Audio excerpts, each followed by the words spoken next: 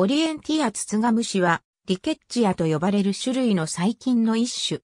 ツツガムシ科のダニの極一部を自然保菌者とする変性、細胞内寄生体であり、この極一部が媒介する人獣共通感染症、ツツガムシ病の病原体である。ツツガムシリケッチア、ツツガムシ病リケッチアとも。この細菌は当初リケッチア属に分類されたが、今では別のオリエンティア属に分類されている。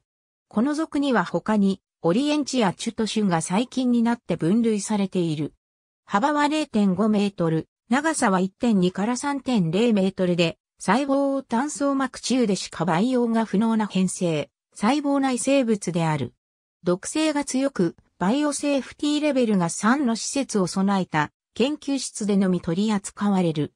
エンベロープはグラム陰性菌と類似しているが、容易にはグラム染色されず、ヒメネス染色の方が好まれる。多数の結成型が報告されており、カープ型、ギリアム型、加藤型、川崎型の多莫大な多様性が存在する。マレーシアの単一フィールドでは8つの結成型が報告されており、さらに多くの方が報告され続けている。遺伝子的手法により、以前判明していたよりもさらに複雑であることが分かってきている。ある血清型に感染しても別の血清型に対する免疫が生じない。したがって、同一の患者に複数回にわたり、感染が繰り返されることがあり、ワクチン設計が複雑になる。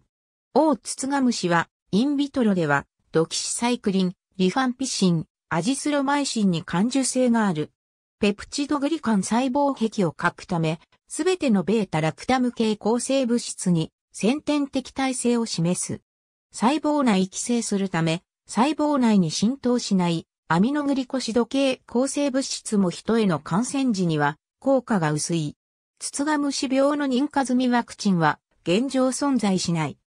オリエンチやツツガムシの各株間には莫大な抗原多様性があること、及び交差免疫が生じないことが明らかになっており、ツツガムシ病ワクチンが許容水準の予防を得るためには、地域内で見られるすべての株を予防できる必要がある。抗原の多様性のため、ある地域向けに開発されたワクチンは別の地域では予防にならない。この困難のために、現実的なワクチンの製造努力は実を結んでいない。ありがとうございます。